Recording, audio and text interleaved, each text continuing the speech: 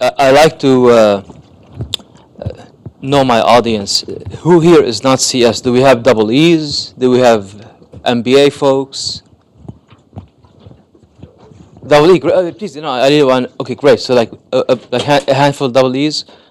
Okay, right, so we won't talk only about the software, we'll talk about the hardware as well. Um, we're gonna cover everything anyway, uh, but I won't skip the hardware part. Uh, let's see, um, any business This is folks? Even if your background is double E or, or, or CS? Okay, okay, okay, great. Uh, my business cards are here. You can grab them afterwards. Uh, I have some props. Yeah, we'll get to them.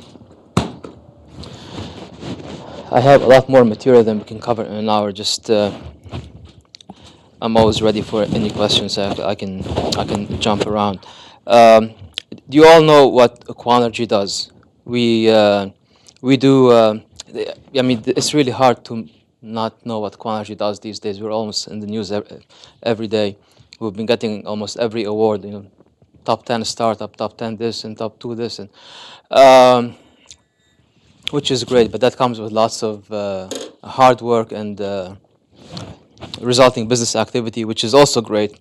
Uh, but that comes with very little sleep, which is okay. Um, so we make uh, LiDAR. We, we are famous for our core technology, which is the solid state LiDAR. Having said that, uh, the software behind the solid state LiDAR is where the brains are. And uh, ultimately, the, uh, we have multiple layers of uh, application um and uh, perception, smart perception software, and then scenario analysis, decision uh, making, and so on. All of these layers are laid on top of the basic uh, point cloud that you get out of a, a 3D LiDAR sensor. Uh, we'll talk about all this, and then there's the data you collect, the big the big shovel that we use to to uh, uh, to fill the dump truck that the cloud is, uh, and get things processed and fused between different sensors, not not just uh, for lidar. We'll talk about fusion between lidar and video and radar and so on. Uh, the company is three and a half years old, but in terms of introduction, uh, I worked on the core chip that uh, is the core of the solid state lidar 25 years ago. For my PhD, it was uh, sponsored by DARPA. Uh, it was the biggest chunk of my PhD at Columbia. Uh, then I went on to get uh, business degrees from, uh, in this order, the Harvard, MIT, and Stanford. Uh, this is my fourth startup. Uh, all my startups are based on the hardware part of them is always silicon photonics. I've, uh, built and sold three companies. Two are telecom companies. One is a uh, solar company, and now this is uh, laser sensing. But that's really uh, that's exactly what I worked on for my PhD. Uh, and so, without so to avoid uh, too much suspense and people wondering what the product looks like, let's just show it to you right now. Uh, that's the solid state lidar. Uh, you know, you compare it with what we commonly call the, the KFC bucket on the Google car. Uh, this is a smaller, lighter, lower power consumption, completely solid state. Macro level, micro level. So this is this does not have micro MEMS mirrors that the that the naked eye does not see. No, nothing moves. Uh, truly solid state based on optical phased array beam interference. It's like it's an optical version of the phased array radar. Um, and now this you never see it on a vehicle. So it's not only small it's also hidden. It's always behind behind inside the side view mirrors behind in the bumper behind the grill. And so it, the, the a car that has this basically look, look like looks like it has nothing. And that's the point. That's the kind of car you want to buy. You're not going to buy a car that uh, looks like it has a lab bench on top. It's it's cool for pilots and uh, yeah yeah yeah uh, but when you buy a luxury vehicle, you you don't want it to have a bunch of uh, instruments on top. So uh, our, our mission basically is just to do five things. That's all we do. We, we save lives, energy, space, time, and money. Uh, and so saving lives is safety, and then the, the other four are efficiency. So uh, we are energy efficient, space efficient, time efficient, and cost efficient. Our solutions. My background in the industry, I'm going to just flash this. I'm not going to spend too much time on this. Uh, just so you see uh, the companies I- worked with and sold, and then I stay stay with the parent company for many years, actually, typically, which is not common for for for entrepreneurs. Um, and then we and we did some acquisitions over time. Long story short, I started uh, after my PhD at, at Allied Signal in Morristown, New Jersey. We became Honeywell after we acquired Honeywell. Started three companies, sold them, sold one company to Corning, one to DuPont, one to SK Energy in Korea. Uh, became the CTO of Sun Edison and then uh, uh, now um, Quanergy. Uh, what, what we are about disruption through innovation uh, and uh, th- through business model innovation, technical and business model innovation. Uh, we disrupt the transportation space as well as security, industrial automation, mapping, digital navigation, as well as location-based services. Uh, in mapping, we are mapping the world, ma- ma- making a unit like this, the solid-state lidar, for a couple, making it available for a couple hundred bucks. Meaning our cost, you can guess, is about half of that uh, allows it to go in every vehicle now. It's no longer the, the eighty thousand dollar unit that you see on on a uh, typical uh, Google car. We love Google, by the way. Not not trying to say anything bad about Google. It's just I mean it, they use it to, to develop software, right? So so whatever works to develop software, that's fine. So but in that case, when when it's a mechanical lidar and you, you're using it for development to develop software, um, if it breaks, okay, you go back to the shop, you replace it. But when you're using it to uh, actually enable an autonomous vehicle and uh, you're taking a nap, it's not as cool when it breaks. Uh, it has to be solid state. And that's not just our opinion because we have this. We have this because that's what the customer said. Um, you know, location-based services. Ultimately, you can imagine a smart IoT, Internet of Things, where each thing doesn't just tell you where it is; it shows you everything that's going on around it, and that's a very smart uh, IoT. Um, so, business model basically, yes, we do have core hardware technology. We have a lot more software than hardware, multiple layers that I described, and ultimately, we, we, we will get into data services. and that's our uh, ecosystem. Uh, we have the the core hardware, the the, the data processing on board uh, that controls the systems that control the the vehicle, and uh, we build maps using that data. We have uh, we communicate in real in real time using a cell- cellular connection uh, observations. An observation can be uh, any object around you, a pedestrian vehicle, debris, pothole, etc. Uh, it can be uh, a traffic condition, a weather condition, uh, accident, so on. All of that gets communicated immediately via a cellular connection.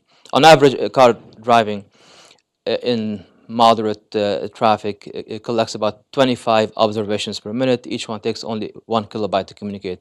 Type, location. Uh, driving um a couple hours a day, uh, five, uh, five, five days a week, that's really just 50 megabytes per, per, per month. So it's not uh, that uh, bandwidth hungry. So any very basic uh, data plan can, can, can handle that. Then you need the Wi-Fi connection to uh, upload to the cloud a uh, the base map. You're collecting observations, communicating those in real time to everybody else who has a system like yours, so they they're aware of what's going on. Uh, then uh, the base map that we're, where we are building in the cloud a global centimeter accurate, daily updated, uh, colors colored point cloud map that is. Uh, certainly a lot more uh, data intensive. If you drive eight hours a day, five days uh, a week, in one week you'll collect about a terabyte of data. So you definitely need for a couple uh, for a couple uh, hundred gigs per day. Uh, you need uh, a Wi-Fi connection. every vehicle has has has a Wi-Fi connection at some point. Even so, for for, for a uh, personal vehicle, that's easy, right? I mean, you're gonna park your car in, in a garage at some point. Um, even a UPS truck that's driving most of the time, at some point, is gonna go to a loading dock to get loaded, and it's gonna be waiting there for a couple hours. That's enough to upload all the data it collected, uh, and it downloads, refreshes deltas based on what everybody else has collected for the area of interest. So in our case, say the Bay Area. So uh, an IoT uh, roadmap would look something like this. It started in the early day in RO, uh, uh RFID used to be considered, be considered something uh, you stick on something and now okay everything is tagged and you have you have an IoT. These days it's much much smarter. It's uh, you have um, you have sensors that detect classify, uh, track objects. You have uh, the ability to crunch onboard uh, uh, that, that, that data to, to make decisions uh, using data fusion between different sensor types, LiDAR, camera, and radar. so, and um, if you're doing that in the context of deep learning, uh, now you need uh, an advanced processor. You need a GPU. We are working very closely with NVIDIA. We also work with Freescale and others. Um, on on on the all the uh, CUDA development.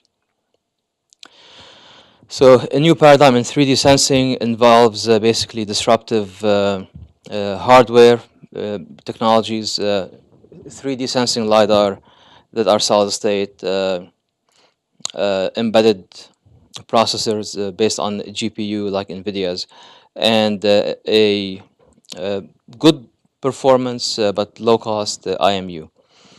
And those are available these days based on MEMS. Uh, then you have so you have those core technologies, you have advanced systems that use these technologies, and those can be autonomous driving system, ADAS, or they support smart homes, smart cities, 3D aware device, devices, we'll talk about all this. And uh, ultimately, uh, smart solutions uh, uh, include that the global map I talked about, which is centimeter accurate in 3D, in color, and so on, uh, uh updated daily. Uh, GPS free navigation. When you have a map that's that, uh, when you have a high definition map that's really high quality, high high accuracy, now you can navigate uh, offline.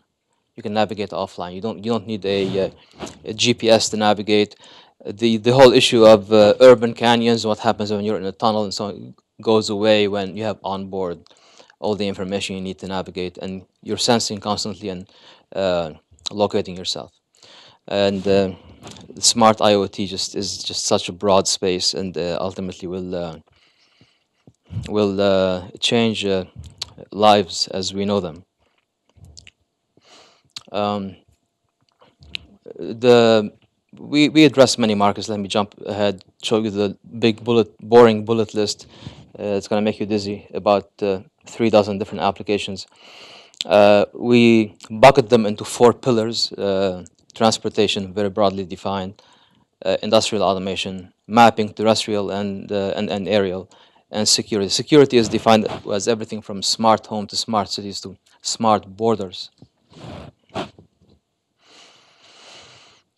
And uh, here are some uh, some of the some examples of applications, and I point your attention to the fact that, for instance, in vehicles, you know that that's almost obvious at this point because we talked so much about this. It's such a hot space. You probably have a good idea how how, how that's used. But as you can imagine, also uh, every drone company wants to work with us. You have the lightest weight, lowest power draw, uh, you know, uh, uh, highest resolution, lowest cost uh, sensor, uh, smallest size. So um, that's a no-brainer for, for drones. Um, and ultimately, we're going to be able to fit in a uh, in a um, handheld device and clothing, so on, uh, when the whole device is on a single chip, uh, which pre-packaging has about this size. When you package it you know it's a, a few millimeters thick uh, and now you have a high-end um, high performance uh, type of uh, lidar. This is not like the gaming lidar you can buy these days for, uh, that can that works that has only a 10 foot range uh, that works only indoors when there's no sunlight and that has low accuracy. If you walk around the house and you come back to where you started, it, it looks like you're off by 10 feet and so on. That's not. This works outdoors, has a 300 meter range, works in bright sunlight, has high resolution. This is the kind of thing that you, if it's if you had this on a cell phone or on any device, you can go like this and map big architectural structure. You can map whatever you want, uh, capture a, a scene or uh, just by waving this around. So that's that's that's the future. Everything we do is by design based on silicon CMOS. So all the individual components that go into making the, this particular uh, multi-chip module-based uh, solid-state lidar, when it becomes a single ASIC, can be integrated on a single substrate because uh, it's uh, all based on standard silicon CMOS, and that's why it's also a very low cost. You see the, the business part of, of this device. You see the, this chip right here, which is about uh, four by four millimeters. You can you, you can calculate how many you can get out of a 12 inch wafer and uh, the yields have been phenomenal. We have not had a chip that does not work because we have, uh, you know, we have uh, a uh, developed calibration uh, hardware boards and calibration uh, algorithms that calibrate out imperfections in fab. So so far, after we do that, we run the calibration. So far, every chip has worked. Um, so th- th- that gives you an idea how, how we, we can hit the kind of numbers we've been talking about. Uh, this is we sell this a couple hundred bucks in, in volume, and this is going to be below 100, potentially below 50 dollars in volume. Uh, but I told you about what it does, the grade, the range, the, the environmental conditions that it can deal with, and so on. So I don't want to hear I can buy a, a gaming lidar for 10 bucks. You know, this is just this is just totally different.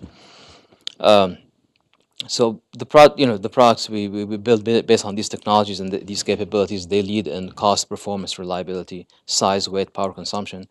Let me clarify. By performance, I mean I mean uh, uh, specifically uh, range, how long it is, uh, accuracy, uh, uh, uh, as well as uh, resolution. So we do accuracy we define as uh, uh, you know uh, depth accuracy. Resolution is uh, lateral resolution. Um, reliability we both mean lifetime, how long it takes before. Mean time between failure is, is very high. Mean time between failure for this is over 100,000 hours of operation. Mechanical LiDARs typically have mean time between failure below 1,000 uh, hours of operation. Some of them have 100 hours of operation. Uh, as well as, so lifetime is one thing, and the other thing is the ability to do uh, signal processing and drop out false signals, identify false signals from, from, from, uh, from uh, false positives and false negatives from real signals. Uh, in rain, snow, dust, any anytime our laser pulses hit an aerosol, any kind of solid in the air, they get broadened. And when we see that signature, we know it's not a real return. But when they hit a real object, pedestrian vehicles, etc., we don't we don't see that effect. The so um, I'll show you some examples that were actually an example that was run live at the Nvidia booth at CES, where they ha- they had the train and they had video and lidar and our lidar, and you'll see the difference. Uh, so before, so that was the application part. Before we get into the more technical part, any any any questions about what the product is and the technologies behind it? We'll talk later about how the technologies work, and you know what you know the appetite of different markets. So, so this is the part where we want to discuss more markets and applications and address any questions you might have. Not interesting. How many do you have in the car? Yeah, minimum configuration has two, front right, front left. That, that's all you need. Uh, and we are going to embed video in this LiDAR. So just for color, not for perception. Some people use video for perception. I just want to be able to see the, the traffic light. I want to be able to, to read signs, and I want to colorize the uh, the point cloud to to just create a data set that's just more valuable. Uh, two units.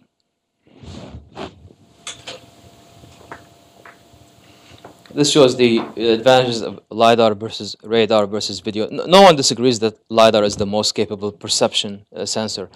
Uh, some people argue that it's an overkill when it was very expensive before we, we came along.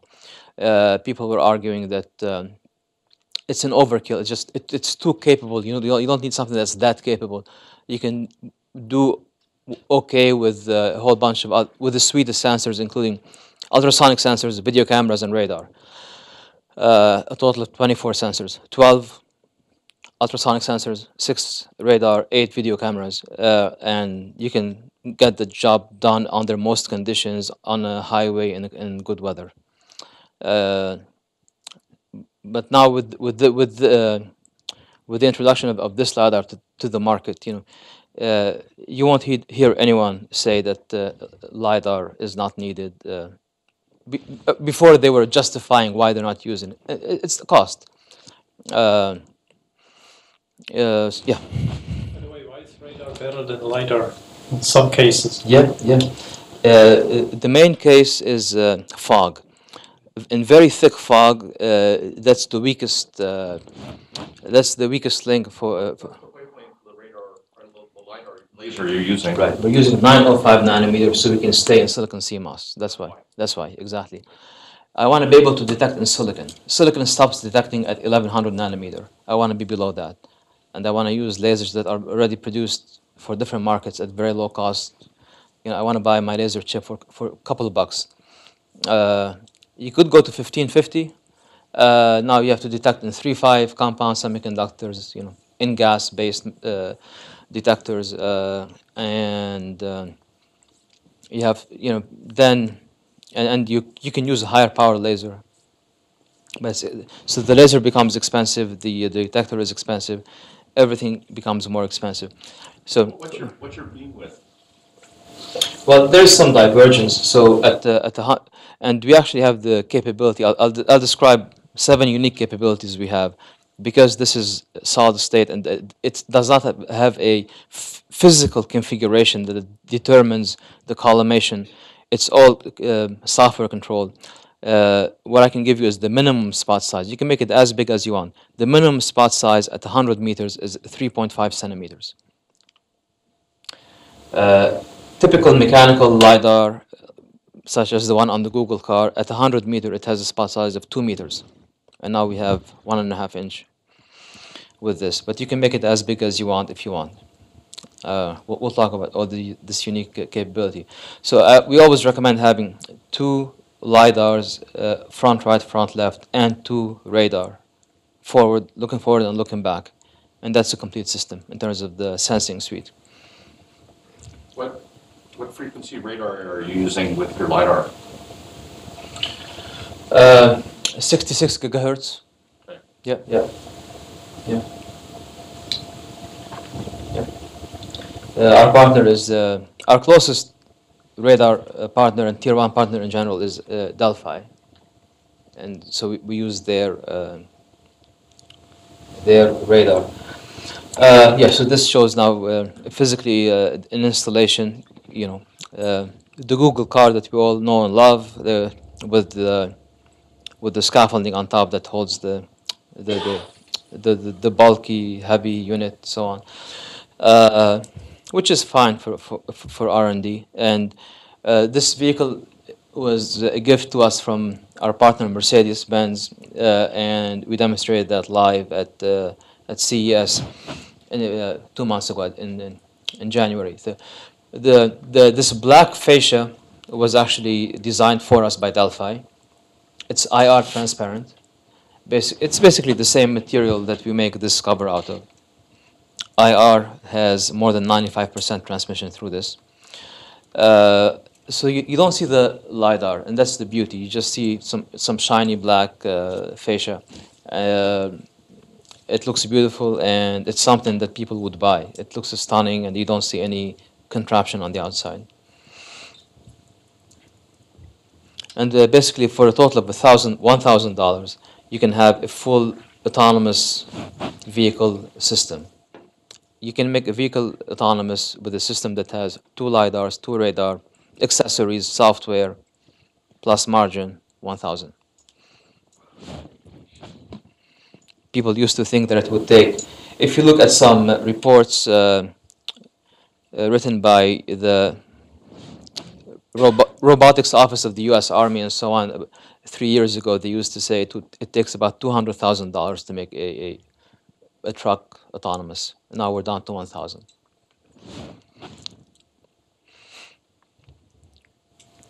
This is our roadmap.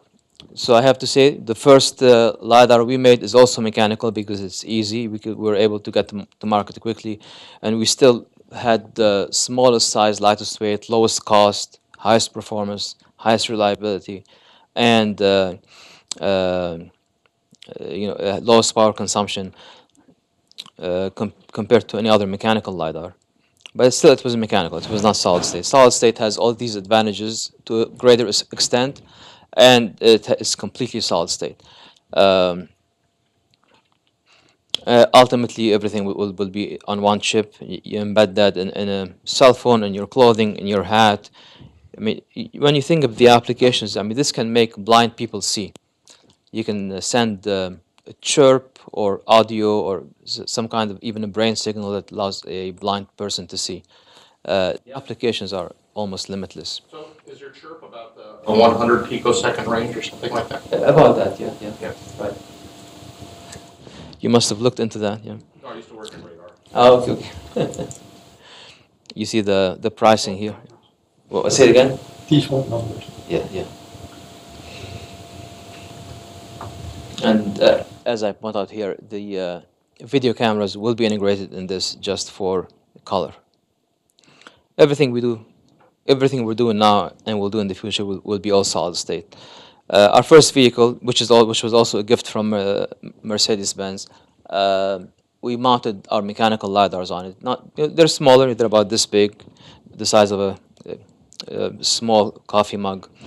Uh, you know, but still, it was sitting on the outside on some, on, on the baggage rack and so on. Uh, it's not as easy to integrate that into a uh, into the body of the vehicle.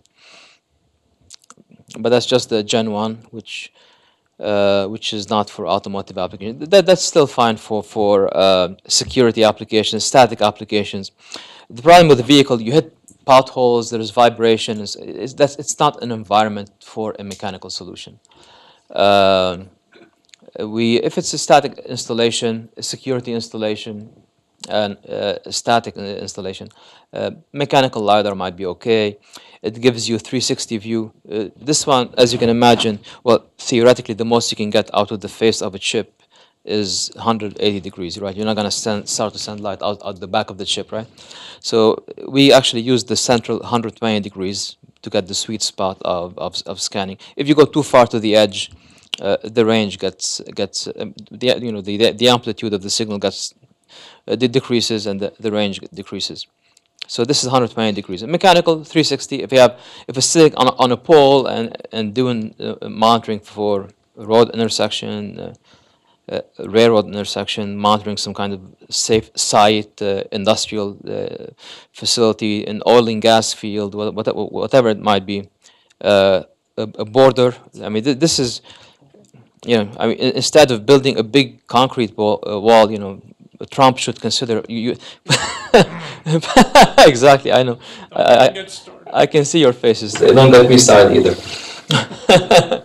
uh, but you know, all kidding aside, you know, the you could have uh, one of these every fi- 500 meters or so, and uh, it, it's a smart. It's smart because it's gonna see as soon as someone starts to approach, and you, uh, you dispatch secu- security can be sitting in an air-conditioned office, and you dispatch someone when there's a known uh, event, as opposed to patrolling the U.S.-Mexico border or whichever border, right?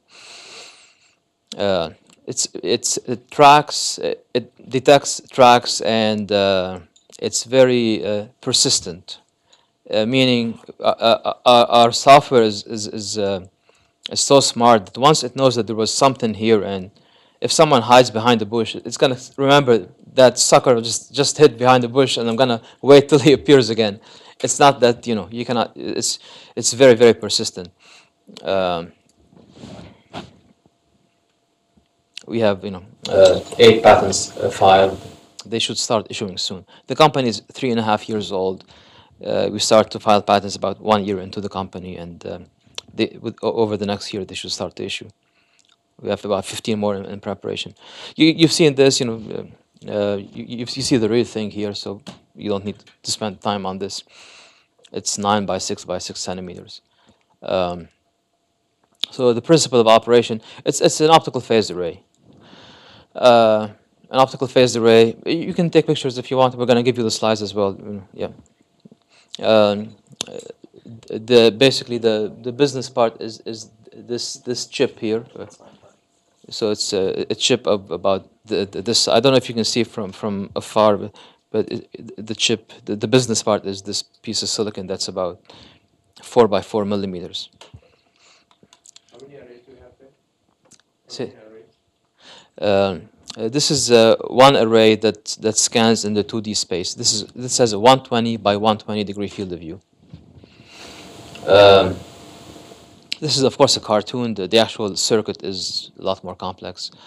Uh, when you add the different uh, the, the there's the photonic circuit there's the the interconnect uh, uh, layer to, to, to bring the control signals there's the actuation elements uh, and the out of plane coupling that sends the light from being guided inside the chip to come and out to come non, non basically normally to the chip and now those beams by controlling their phases we can get them to create a spot size of any size pointed in any direction within the entire field of view that gets calibrated once in the factory and it's good for the lifetime.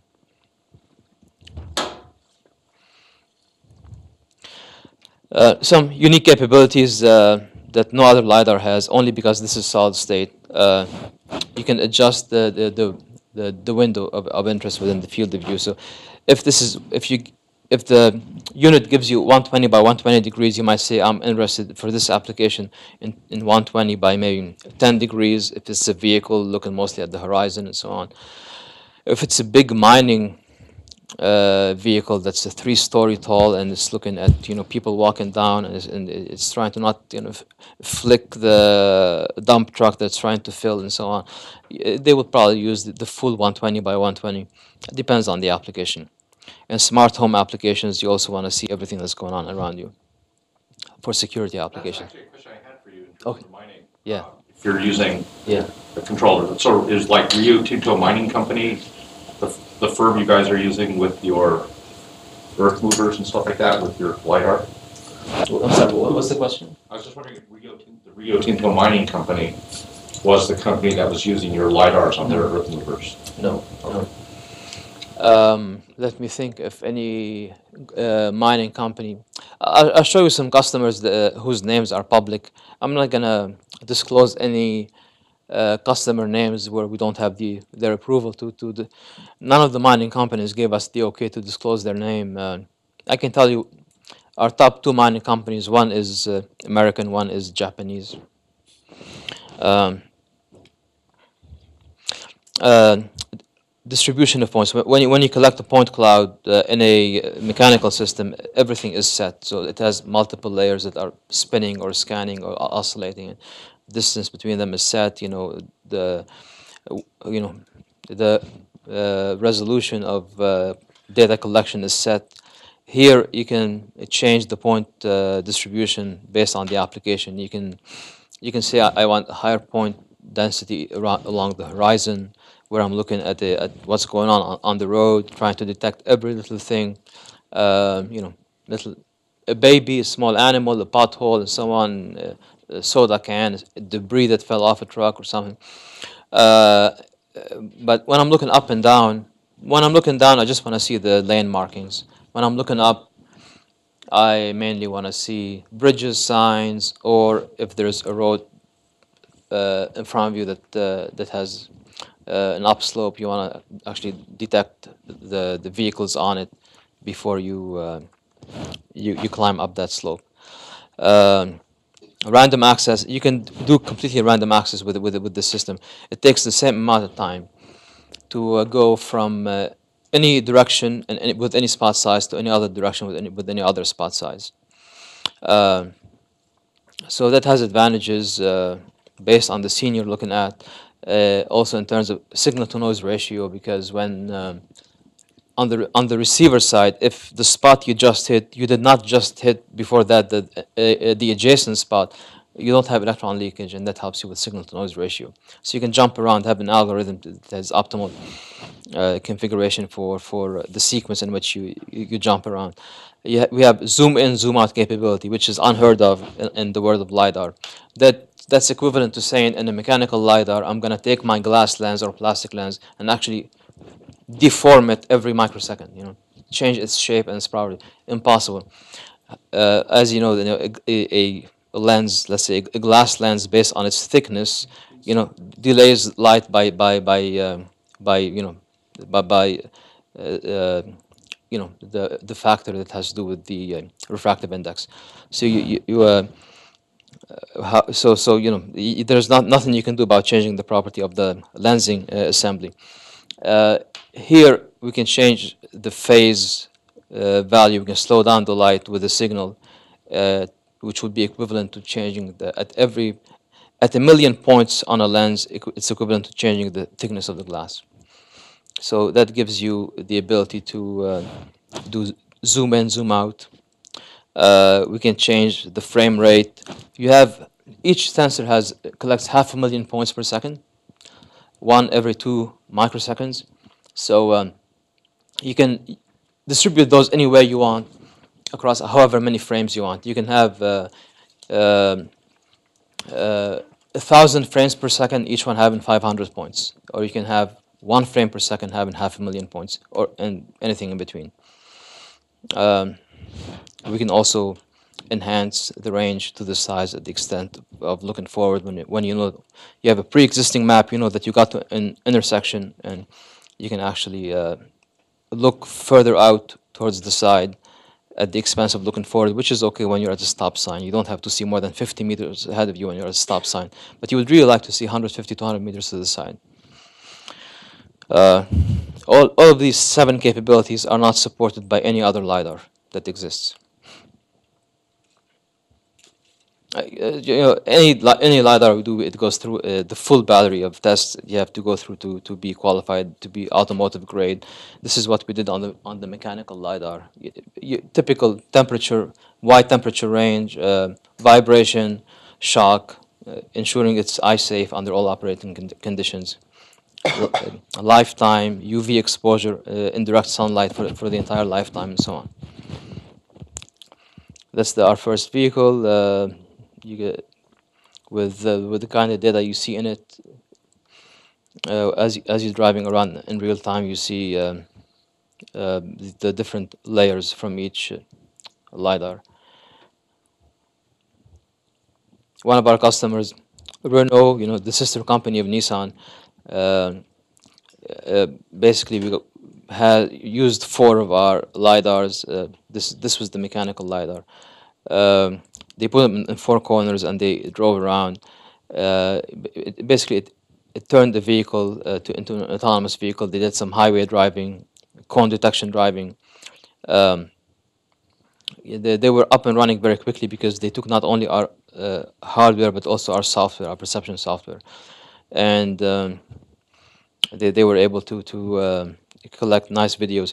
Any snapshot I have of a video, I actually also have the, the full video on, on this laptop. So if we have time at the end, if you're interested, I have tons of videos. Let me just keep track of time. 300 meters is the maximum range, what's the minimum range? Oh, good question. The minimum range for the mechanical LiDAR, which is the one used here, uh, is um, one meter. The minimum range for the solid state LiDAR is 10 centimeters. So if it's mounted, let's say in a behind the grill or in a, in a uh, you know in a bump in a bumper, uh, let, let's say the way we mounted it in the in the red SUV, it was behind the grill. Uh, basically, if you stand right against it and your legs are touching the bumper, you're more than 10 centimeters away from the sensors.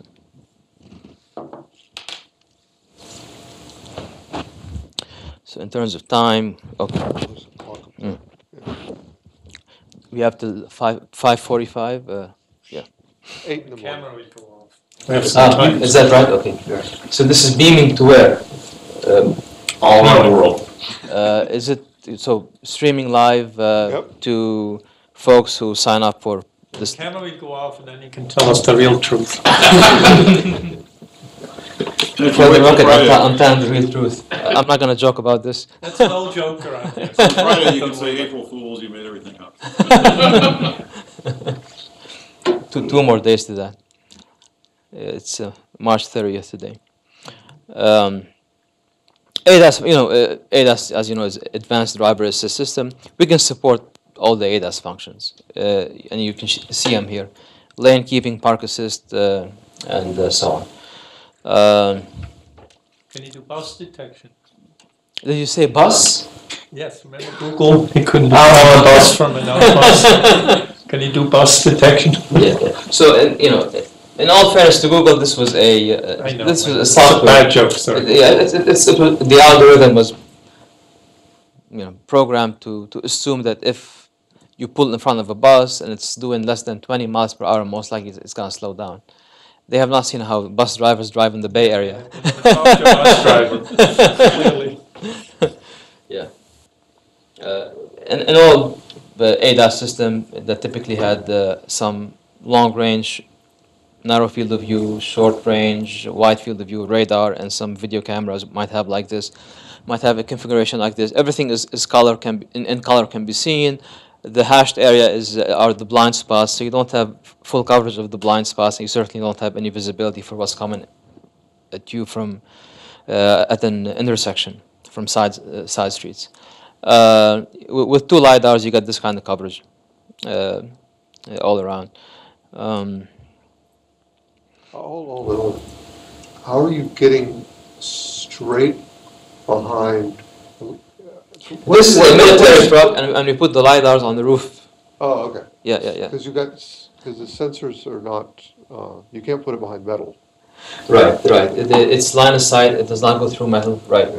So in this case, you know, because it's a, w- with a passenger vehicle, you have to worry a lot about the aesthetics, the aerodynamics. But a big honky truck, you don't care. So this is like a deuce and a half, two and a half ton military truck. Yeah. Yeah. Right. So you, you, you- if you stick them on the roof, you, you, you can. When, when when you get beyond the, the shadowing effect, you start to see the back. Will you be getting into the actual technology of what makes these things work and? Yeah, yeah. You know, um, I'm covering the uh, the hardware. I showed what the chip looks like and how it works and so on. Uh, we'll get into. We still have 25 minutes. Yes. Uh, this is the configuration. So very quickly, I mentioned previously what a typical configuration made out of eight eight cameras, six radar, 12 ultrasonic sensors. If you add a mechanical lidar, because you cannot it's you cannot use it to support a uh, a safety critical function uh, by itself, and you you only add it on top of the existing suite. If it's a solid state lidar and you can count on it running reliably, you drop most of the other sensors. You keep you keep two radars.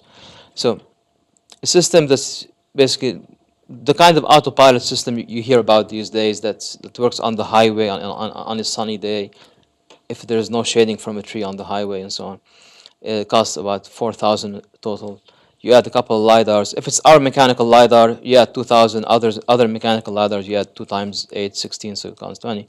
And the solid state lidar plus 2 ra- radar is 1,000 bucks. Uh, How many nines does that get you? how many? How many nines? You said ten nines is what you need Oh, for Tahoe's. How much would the two, that system you've got up there for a thousand give you? Yeah, yeah, we, our goal is to get to ten nines. Uh, we, uh, we can, uh, I know it's, it's uh, very challenging.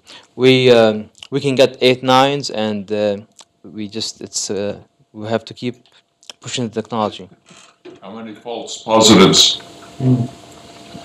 How many false positives? Uh, so with, with, with, uh, with eight nines, that's one out of, you know, uh, so we- eight, eight nines is uh, uh, Your false positive. one false out negative of. rate is- Say it again. Your false positive, false negative rate is the same? False positive versus uh, false negative. It it really depends on the scenario. It- It, it really depends on the scenario. When you stop when you shouldn't have. Right. So it's it could be false positive or, or false negative. It's uh, you know it's uh, one out of uh, about um, one out of about uh, hun- yeah one about in, in one in ten million situations. So you, might miss one out of ten million things that you, should have picked up. Yeah. Right. Is that a sensor restriction, or doesn't that go through an awful lot of software before you? It does go through a lot. of- Uh, th- so this is a system uh, answer here. Yeah, all things considered. So with the software, we're gonna keep improving things to get to uh, the closer to the 10 nines. That's gonna be all software work because the sensor is what it is, and uh, it's a matter of interpretation and uh, making the artificial intelligence smarter and smarter with uh, deep learning. Uh, we, we have our systems on the garbage trucks of the city of Sunnyvale, basically, and uh, they, they detect sometimes, you know, a garbage truck is backing up out of an alley and they don't see well what's coming at them and they get into accidents and so on. I can give you lots of scenarios. We can do object detection, tracking, classification, color coding for each object. Uh, you track it uh, and uh, you do scen- scenario analysis and then you, you, you decide on uh, uh, on, on an action action plan based on the scenario. Actual trucks of uh, you know of the city of Sunnyvale.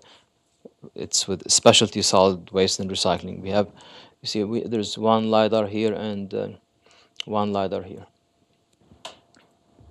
City of San Jose is uh, mapping uh, a corridor for us. Uh, um, so we launched the solid state lidar uh, uh, at at CES. This is the Dr. Michael Hafner, who's the senior VP of products at Daimler, co-announcing with me on stage at CES the, the solid state LiDAR. Um, so this is, well, this was a big deal for us because this is what we are all about. This is the, what allows us, this is the entry point into this, all these applications. Then we make the solution robust and powerful through software, but this is the enabling technology right here. Uh, I showed you this vehicle that uh, they gave us. It, it was running live at the CES. Basically, when you when you're looking at the person, you know you you see the uh, the contour of their bodies. You know, a live image, a video would would look nicer because as they move around, you can see how how, how the shape changes. This is the demo done with our lidar, a video uh, in front of a rain curtain that where the that was getting heavier sometimes at the, the NVIDIA booth at CES. And you can read for yourself what Brad Templeton, uh, who's an autonomous vehicle expert, wrote just based on him standing there and watching the demonstration. Basically, when the when the rain got heavy and the vision failed, the lidar kept detecting. We can see through rain. The laser.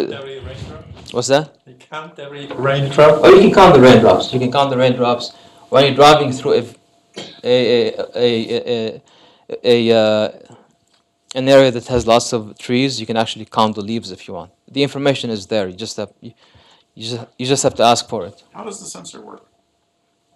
Uh, we send a uh, so uh, let's focus on the solid state sensor because it works differently from the mechanical lidar. The mechanical lidar is much easier. Of Uh, course, but we were interested in your product, no. oh, they're, they're, they're both our products. Okay. We, we also make a mechanical lidar. I'm sorry. Yeah, that's okay. Uh, the mechanical sends one pulse, detects it with an APD, um, measures the time of flight. It's a time of flight measurement.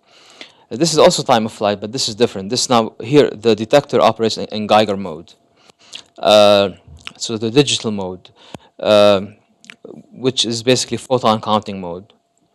Um, so uh, that, that that's why the company is called the Quanergy. We we we count uh, quanta of optical energy. So you are quantum limited. We- we- well, you know, we are. We, I'm, Close to quantum limited. close to quantum limited. should have asked. well, you know, we uh, once you count, uh, once you you detect a photon, there's what's called a dead time. We're trying to make that as small as possible, to be able to, to count the next photon. Uh, we uh, we send the f- photon pulses that are coded. So that, that, that- that's a pulse train, typically uh, about 10 pulses per shot. Uh, that's coded. So when the signal comes back, we have we have a uh, uh, match filter that uh, detects the signal out of the noise. When you look at the signal coming back, it looks like all noise. But when you run the match filter, it picks out the signal based on the code. But pseudo-random. Pseudo random. That's exactly right. Um, as as GPS does these days. You know. um, so th- th- that's the process. Pulse train, uh, coded, uh, and uh, detection, and we do uh, spatial temporal co- correlation to ensure uh, the, uh, that we are uh, detecting a signal that's the, a, a real signal, not, not a false signal. So um, we have a SPAD array, single photon avalanche diode array on the receiver side. Behind it, there's an ROIC, readout integrated circuit. Together, they make a receiver. Detector and ROIC make a receiver array. Um, so we, um, uh, you know, we do the detection, we do the single photon counting with the with with, with the SPAD array. Um, now, the SPAD any any SPAD array has an active area and a uh, an area that has the circuitry. So you have a fill factor for the active uh, region. Uh, we have a good fill factor. so Often the fill factor is about 5%. We have 25% fill factor. But still, you don't want a signal to come back at you and, and hit a dead area that does not have an active zone. So by design, we defocus the signal that comes back so it hits at least a couple of uh, pixels in each dimension. Uh, and that, that that's now uh, a spatial uh, uh, correlation. You want multiple adjacent detector pixels to pick up the signal for you to say that I have a real signal. So we have the, the code, we have the spatial correlation, then we have the temporal co- correlation. Each one, as opposed to zero in the, in the, in the pulse train, has to give the same information on the range. Um, and when all the pulses in the pulse train give you the same information, you have now you have temporal correlation. The, the time of flight measured is the same for all of them. When you combine all these three measures, uh, you have rock solid detection, even in a high noise level environment.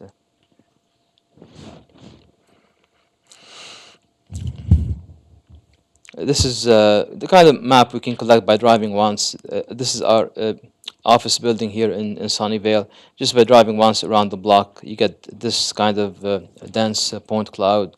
We can zoom in. This is this one of the turns here, and you look at. Uh, once you collect the on- on- once you collect this point cloud, uh, you know, in a what's called a bag file, uh, it be, it becomes an environment that you can actually do a fly through uh, on your computer, and it, it's you can you can actually fly through just like in a video game and uh, take a still like this from from any perspective.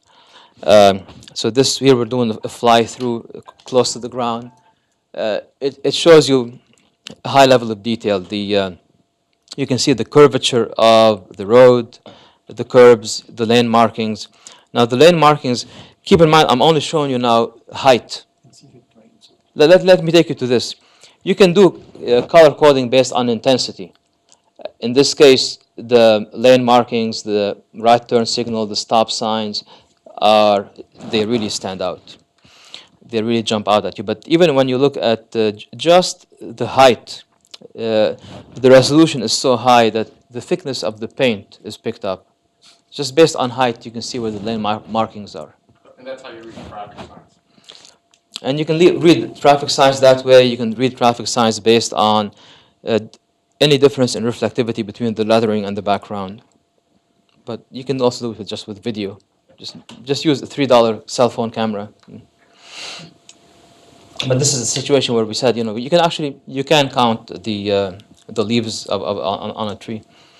Um, we- we've done many applications. We, we we pre-map a course. This is a WRC rally uh, uh, race course that we pre-mapped for Hyundai. Um, so they can take very detailed notes before they, they do they do the race. It's not allowed to do do, do it during the race, but it, it, it's perfectly fine to do it before the race and and then then take detailed notes and now use your handwritten notes for for more accurate uh, information. Uh, we can do global positioning of point clouds. Uh, we can overlay uh, our point clouds on top of satellite imagery, and you can see any uh, changes uh, day to day in in the scenery, uh, and you can position yourself and you can detect the changes. Yes, sir. Isn't this all representations of how your software interprets the data? I still don't understand how the sensor itself works. What are the phenomena that you're using in order to collect this data that you're showing us here? we are connecting. We have a we have a time of flight uh, sensor. We have an IMU, right, inertial measurement unit, which is uh, accelerometer and and But for instance, how many pixels, what are the dimensions of the sensor? How is it that you're determining the time of flight? Uh, What is the emitter? I don't know if these are lasers being put out, but they seem to be blasting the world with energy. What kind of energy does it take? okay. So you're referring to uh, when you blast the world with energy. It's uh, it's called the flash lidar approach. We don't do that. What do you do? I'm sorry. We do. We have much smaller. We do serial uh, illumination as opposed to parallel illumination. The flash lidar does illumi- illuminates the entire scene with one big uh, spot. Uh, they flash the entire scene. That means the power has to be very high. They use uh, lasers on, on the order of 100 kilowatt in power, very expensive. To make that eye safe, you go to 1550, cannot detect in silicon anymore. You go to gallium arsenide, 100 times more expensive. That's why those systems cost between 100 and 200,000 dollars. So what do you do? Serial, serial. I have a small spot that hops around a million times per second. That's what I do. They flash the entire scene. So if you're a million times per second and your failure rate is one out of ten million, you got a high failure rate. That's fine. That's fine because uh, you're collecting so much information that, uh, and you're putting it all together, and it has to make sense. Um, if, especially that one false signal that does that does not repeat because it's, it was some random noise, then you know you know what you're dealing with, and you're gonna you're gonna eventually very quickly gonna realize that that was a false return. Uh, you're you're running at uh, 30, 50, 100,000 frames per second. And if one of these frames has one dot, that's uh, one uh, point cloud point that's uh, erroneous, you'll figure that out very quickly, within a small fraction of a second. Nine nines is actually a billion, not ten million. Say it again? Nine nines is a billion, Yeah. ten is ten billion, at least in the, in the, in the United States. I don't know what they do in England. Two point two times. Uh, our closest partner for the for the advanced processor is NVIDIA. We use their Tegra X1 platform for for deep learning. It has to be much cheaper for this to go into in every vehicle, but for vehicles that collect data to, to do deep learning and build a uh, strengthen the algorithm based on driving around, learning, teaching, teaching the algorithm, uh, correcting it in, uh, in post processing and so on.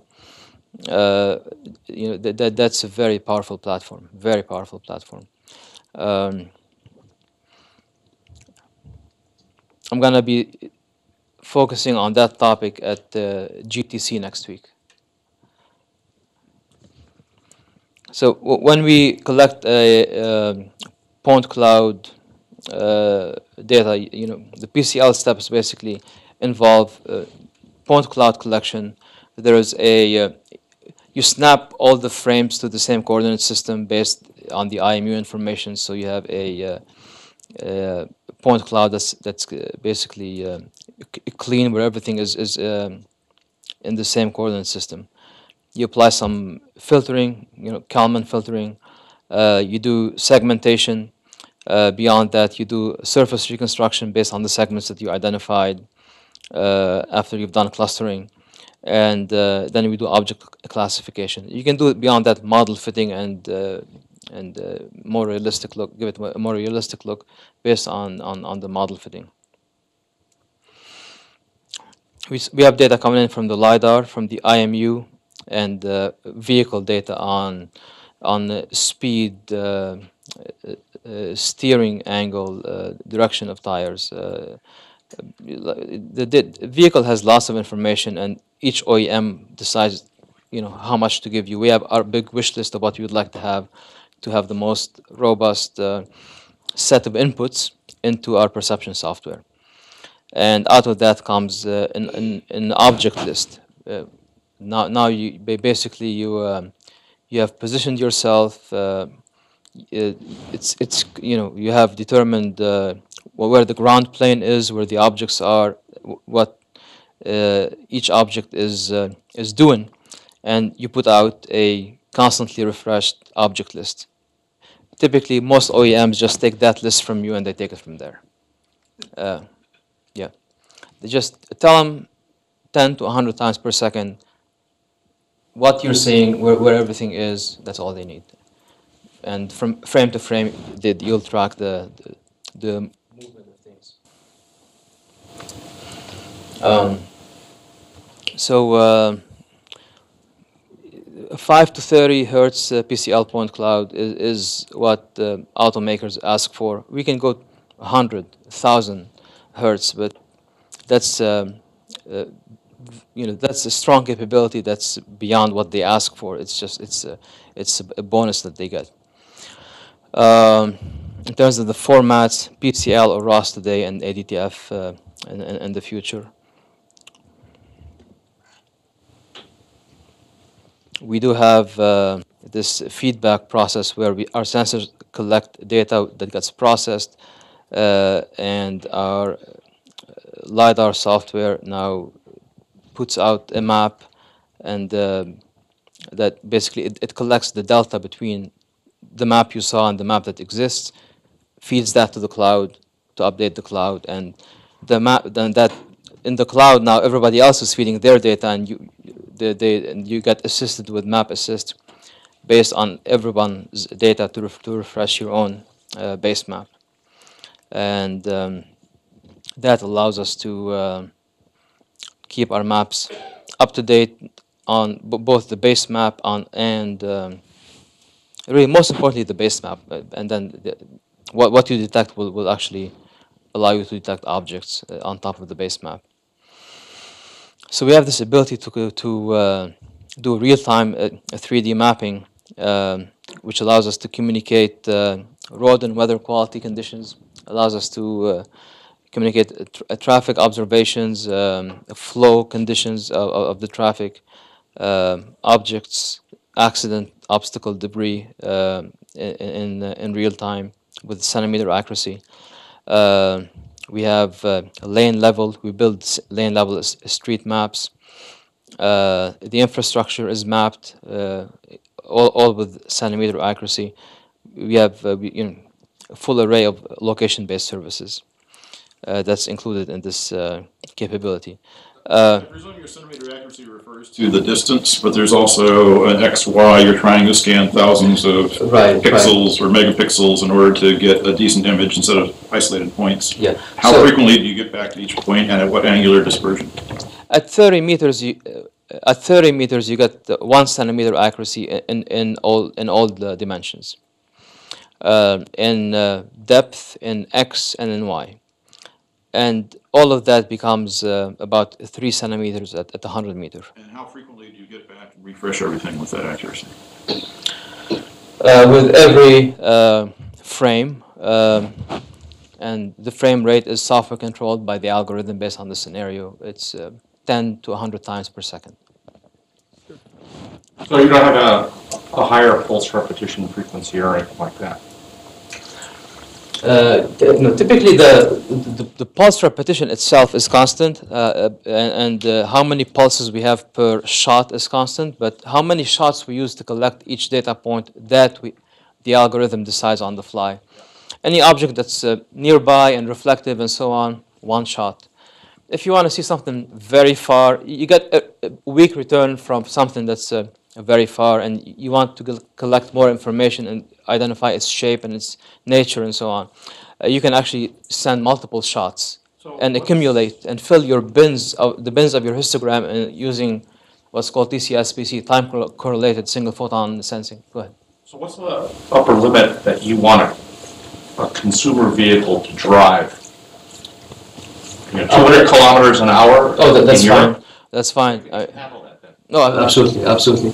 Uh, uh, a vehicle moving at 200 uh, kilometers per hour is almost like a car Autobahn speed. out-of-bound speed.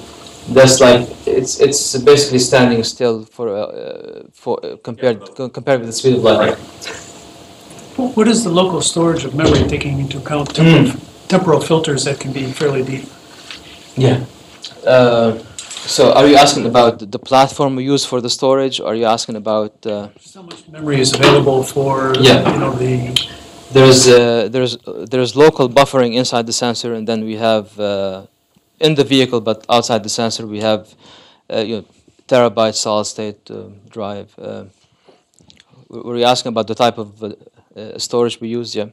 Um, so we have both storage on chip, and then we have the uh, uh, post processing. Then we, we we have the data. Post in vehicle processing, we have everything stored on uh, on a solid state drive. that- that's good for a day or a minute or hour? It's good for it's good. Uh, a, a terabyte is good for five days if you drive eight hours in a, a day, collecting at the highest resolution. Oh, okay, I see. We're uh, uh, so you know just uh, this is actually one, my last slide, just to give you an idea. Some public customers I can talk about: the Daimler Group, Mercedes Fr- Freightliner, Hyundai, Kia, Renault, Nissan, OE, for OEM, our top uh, tier one partner for, for system uh, uh, on the system level is Delphi. On the component level, which is called the tier two, it's Sensata Technologies, which is the former sensor division of TI.